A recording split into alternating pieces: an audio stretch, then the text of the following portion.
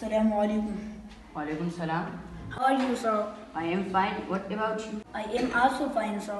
What is your name? My name is Ahmad. Where are you from? I am from Zakaria.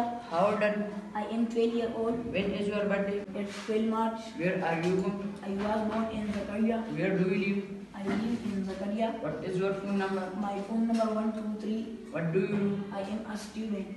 What is your marital status? I am single. Uh, many brothers and sisters do you have? I have two brothers and five sisters. What time you go to bed? I go to bed 10 o'clock. What is your hobbies? My hobby is reading books and playing cricket. How many languages you can speak? I can speak Urdu and Urdu, English and Pashto. Are you American? No, I am Pakistani.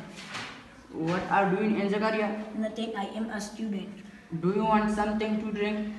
No, thank you. Do you want something to eat? No, I am cool. Would you like to play cricket with me? No, I am busy. Where is your mother? She is in the room. Where is your, what is she doing? She is watching drama. Where is your teacher? He is in the class. What he, uh, what he is doing? He is taking the class. Where, uh, who is your class classmate? Mr. Razaullah is our class manager. Who is your English teacher? Mr. Tariq Saib is my uh, English teacher.